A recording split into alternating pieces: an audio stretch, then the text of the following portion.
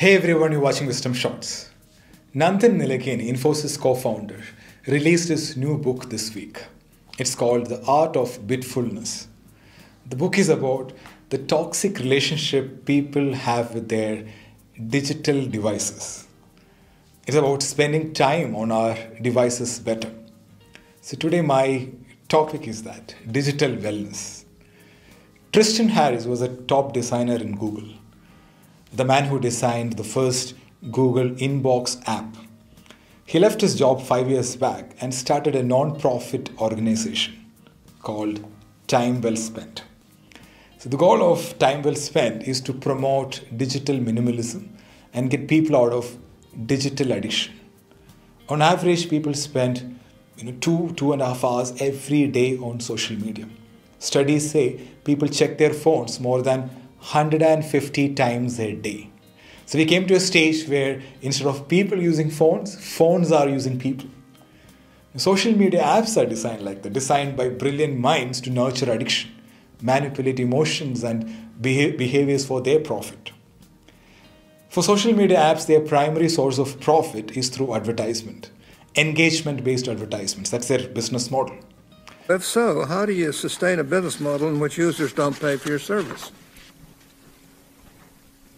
Senator, we run ads. I see. That's...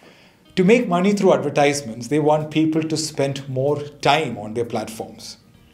They use psychology, persuasive techniques to keep people engaged. Millions of dollars are spent on research and development. Our addiction to phone is not by accident, it is by design. The top tech companies are deciding where we spend our time. Let me give you an example. Say when you upload a new profile photo on Facebook, right? So our mind is very vulnerable at the time. Facebook knows that. Facebook knows that appreciation is a strong human emotion, a human need. So Facebook knows that people are curious about what other people are thinking of them. So when we get a new like on the profile pic, Facebook, knowing the human psychology well, will send you a notification hey, you got 10 new likes on your new picture, you know, check it out. By looking at this, we get excited. We get something called dopamine high. It becomes an addictive behavior. The interesting thing is, you know, they control the dial using technology, using algorithms. They decide where to shop, when to shop, whom to show your profile pic, how long to show on others' news feed. They even know who is likely to give you a like to your profile pic using data science. They orchestrate it really well using technology. They even purposefully delay showing your picture to some people so that they like the next day and you get a notification the next day and you're hooked into their platform even the next day. Now, recently, the CEO of Netflix said their biggest competitors are YouTube, Facebook, and Sleep. Yes, Sleep is their competitor because people have only finite amount of time and these companies are thinking hard on how to steal our time. They don't want us to sleep they don't want us to spend time with our friends they don't want us to have a social life they don't want us to spend time with nature. They don't want us to do anything meaningful. You know, they want our time and attention. Our time and attention is their profit. There is competition for attention. Attention is the new currency of success for these companies you know, social media apps are like like Akshay Patra. You know, there is no end to it. You can scroll all your life.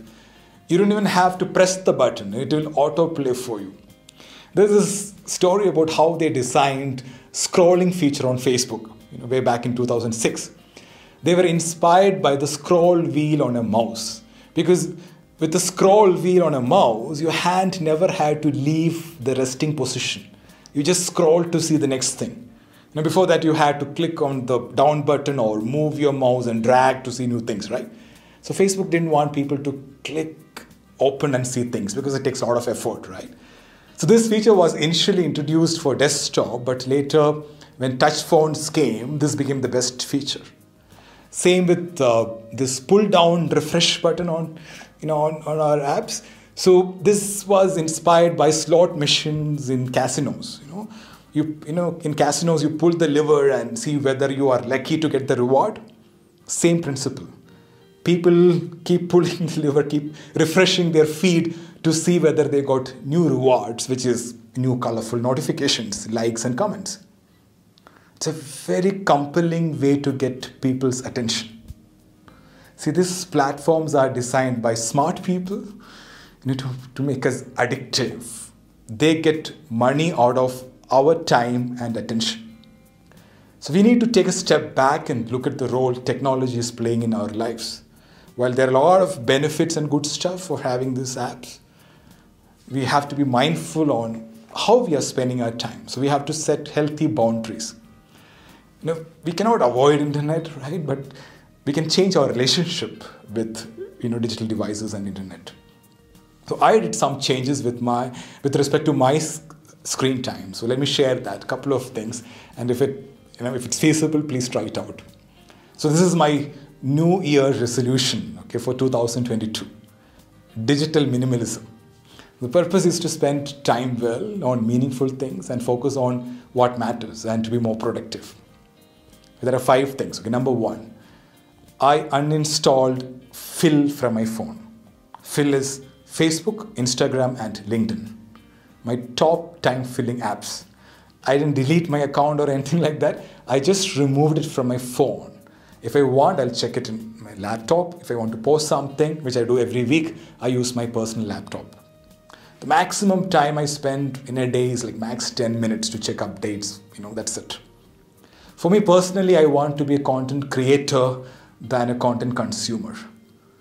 You know, I want that time and space to create content for others.